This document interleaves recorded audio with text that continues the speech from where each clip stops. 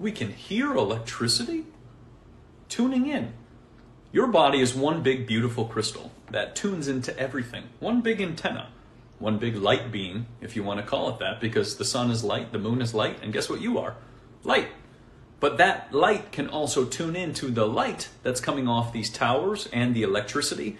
And that's why a lot of people hear ringing of the ears because they're tuning into the toxic light, which is radio frequencies and electricity. Too much electricity and too much EMF results in the ears beginning to ring. That's what 2020 was radiation poisoning, or radio wave sickness, or acute electrical illness, loss of smell, loss of taste, ringing of the ears, dizziness, nausea.